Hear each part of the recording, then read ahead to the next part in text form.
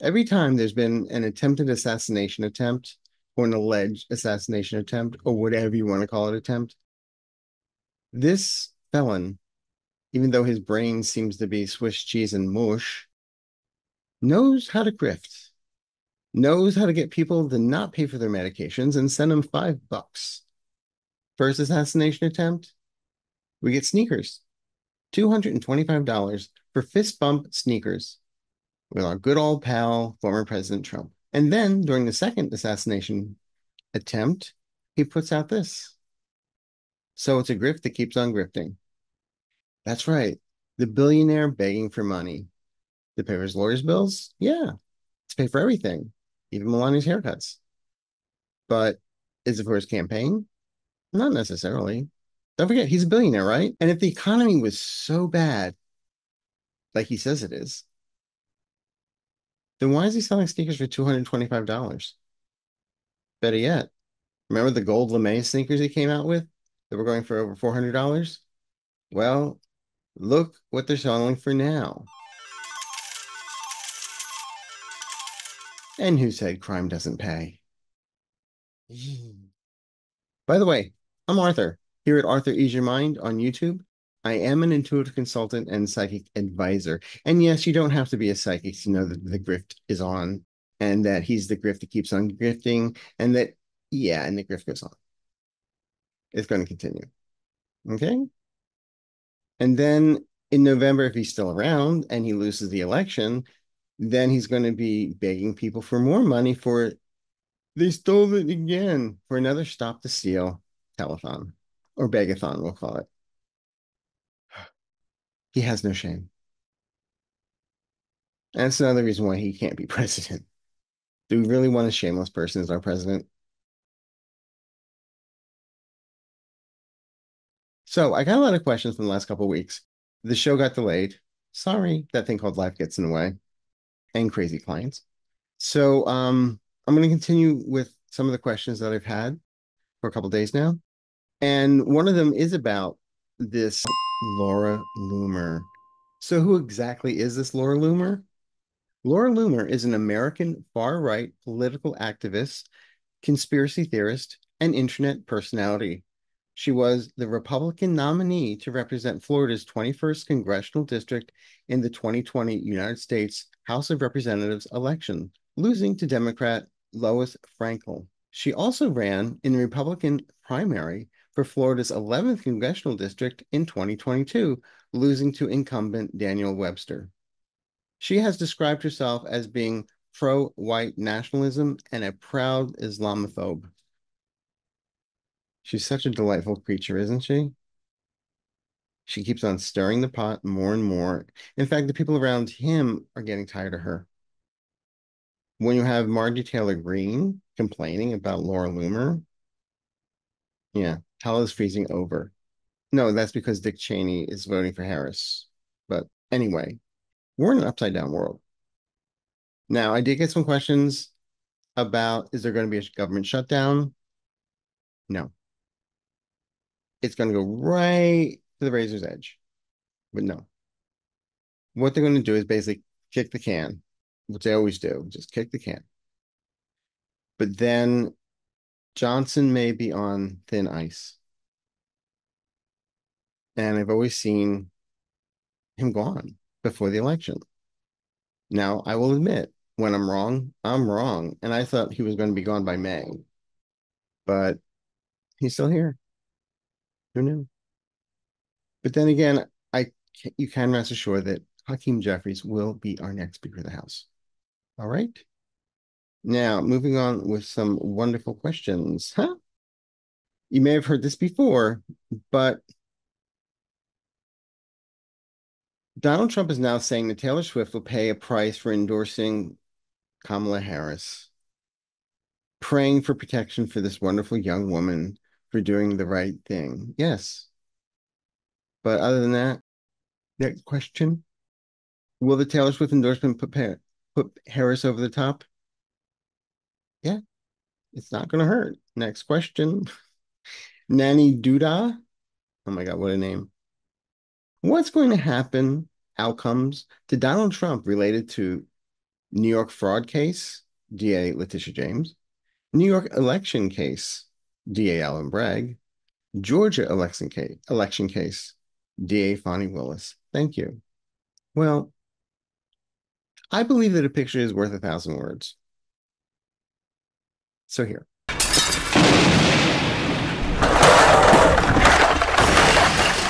Okay, there you go. Service team 9437S. Do you see an October surprise for Trump? If so, what is it? Well, as I said on Linda's show, the October surprise is that he's still here. He's not dead.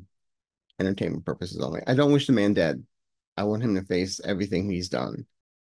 But whatever the powers that be will be. Okay, Sarah, Sarah. But I do feel there's a lot of stuff coming up out of the case in DC with the Jan 6 stuff, with Jack Smith bringing new evidence, documents, transcripts, you name it, he's bringing it in. And that's when I think everyone's going to go, What the F? He did what?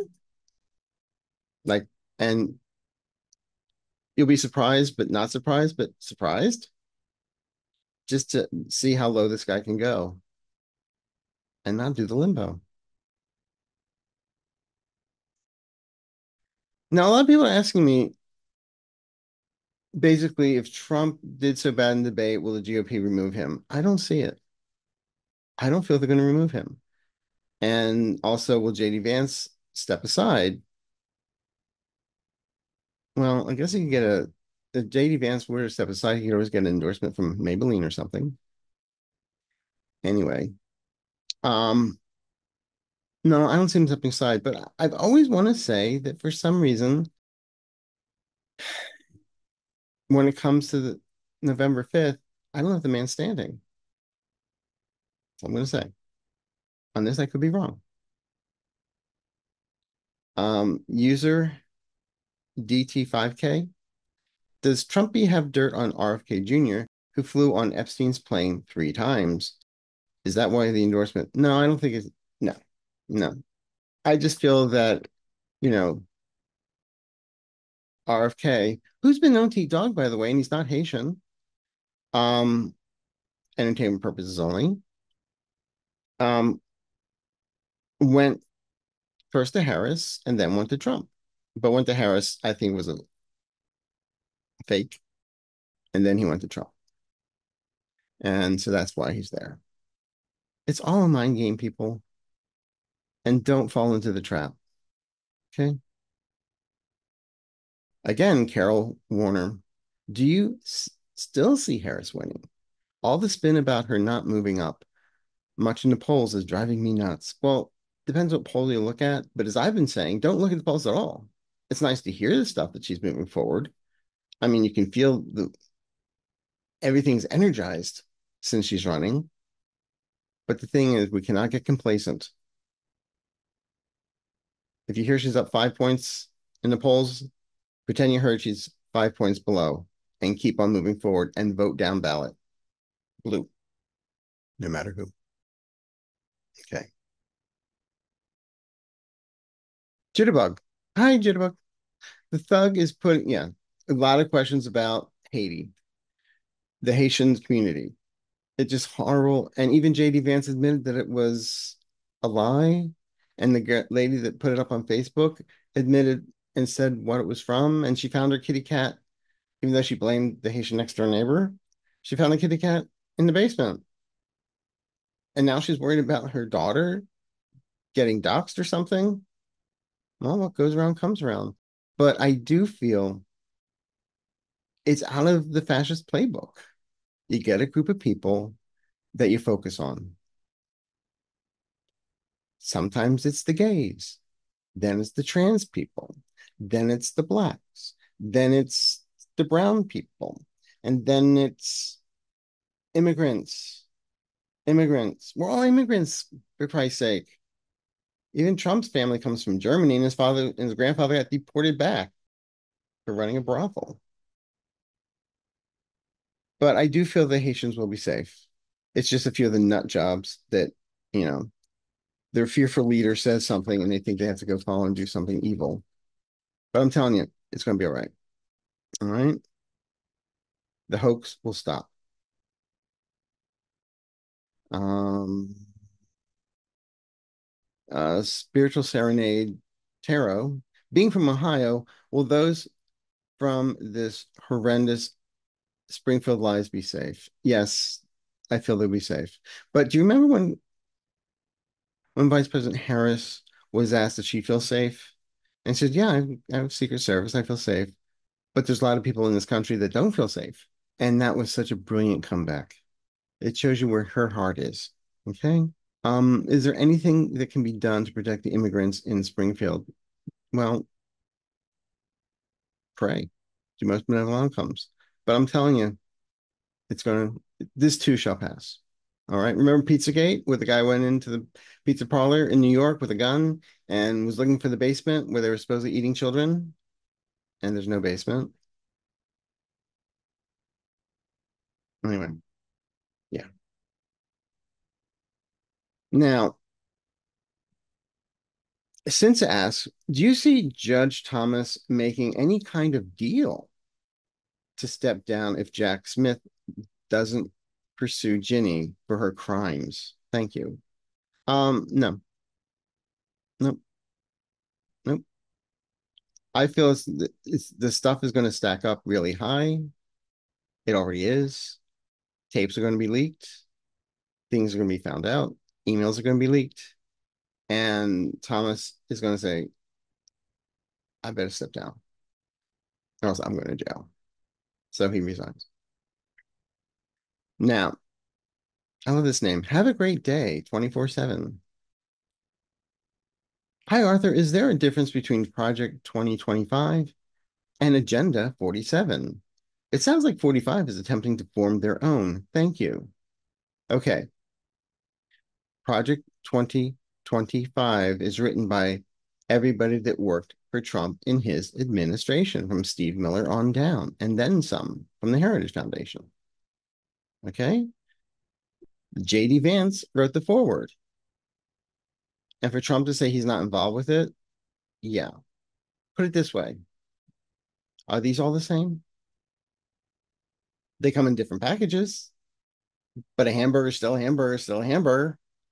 So Project 25, Agenda 47 is still dystopian hell for all of us. Okay. So again, vote blue. June Brewer. When Faux 45 loses the election, who will pay his lawyers in all his court cases? Won't the PAC money dry up after the election? That's a really good question. And I I really don't know. I mean, do you think he's paying for an insurance policy?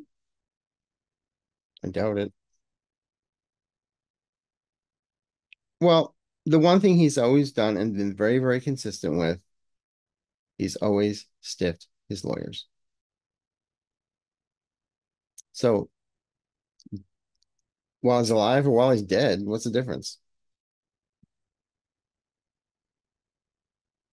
Jenny W. Hi, Arthur. Who else will be named by the DOJ in the Russian agent PR scheme? Oh, there's too many. There's too many to to name. There are people from the House, people from the Senate. Lots of more influencers are going to come out. Uh, lots of what I'm considering like top tier school officials, because all the same talking points as the Russians are putting out in the propaganda. How do you know their propaganda? Well, listen to what Putin has to say. And then if Marjorie Taylor Greene repeats exactly what Putin says, hmm, I wonder where she got her information. It's like cheating on a test. You look at the guy next to you, you write down what they had, and then you find out, oh, he knew it and he put the wrong answers. But unfortunately, Putin's not putting the wrong answers. All right. Now, we've got a lot of other questions. Will there be any government change in Iran in next year? Any real international consequences for their funding terror working with Putin? Not now. Not now. I feel within two years there's going to be a shift and it's going to be very fast. That was from LK57913. Now, John is asking Will Netanyahu and his crimes be out of a job by the end of 24? I feel it strongly and that he will be toast. I agree with you on this. Um, I've always said Netanyahu. Now, this is where I was wrong. I felt Netanyahu would be gone by the end of July, but he's keeping this war going so that he doesn't get in trouble and go to jail. When as soon as the war ends, he's going to jail anyway. Um,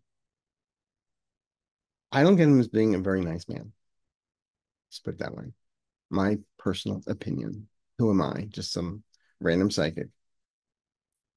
Um, now, what I'm also getting a lot of questions about is earthquakes, weather. As I've most of you know, I live in Southern California. I'm in Los Angeles. And if there's going to be the earthquake, I think my guides would warn me. I mean, a couple months ago, I was at the 99 cent store and for some reason bought museum putty. Believe me, nothing moves. It's like a celebrity's face with Botox. And we then had a little shaker afterwards. So I would never bought that stuff, but for some reason it's like, oh, buy it. And that's sometimes how it works. It's just gut instinct. But I feel that if I'm being told to get my backpack and get my kit, my earthquake kit out, then I know something's going to come. Or if I disappear and nobody hears from me, then worry about it. But no, I'll tell everybody. But what I keep on getting is I'm not feeling as much in the Los Angeles area as I feel in Northern California near Oregon. That's where I feel there's stuff going. I also feel something in Alaska, but inland, not not not where there's a lot of people. And I still see a couple more in Europe, perhaps Italy. And as far as the weather's concerned, it's going to be wet. 2024 is going to be wet in the Gulf in the Gulf area and the Eastern Seaboard, especially around, you know, northern Florida. I don't mean to say I'm all doom and gloom. I mean, I don't see it's going to be like the end of 2025 when you have Santa Monica going into the ocean. I mean, I remember I saw that movie. I said to my friend, "Here's my house." Um, it's kind of scary, but all in all, I do feel if we are kind to each other, we can be kind to the earth, kind to Gaia, and send healing energy out all the time, not only to those in need, but also to this beautiful planet in need that we live on. Okay. Now, I I got some, I'll call it hate mail, where someone said, you know, you talk about voting, it's insulting. Well, it's insulting that you think it's insulting. That's all I'm going to say. I'm not reading my comments much anymore. I have somebody doing it. But I found that in, somebody showed it to me and I felt that insulting. Because a lot of times people need to be reminded, yeah, Kamala Harris looks like everything's going good and everything's cool and fun. But no. Vigilance. Stay vigilant. Stay on top of it. Because we can make it happen. It's like when we manifest you don't manifest for something in the future per se. You manifest or pray that it's already here, the law of the universe, that it's here. So we've got the government that we want, that we need, that is here. It just hasn't shown up yet.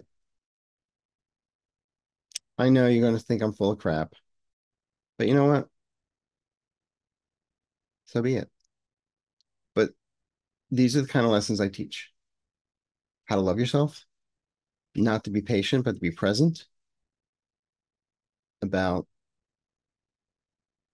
how to stay out of overwhelm, how to stay out of being resentful, all those kind of things.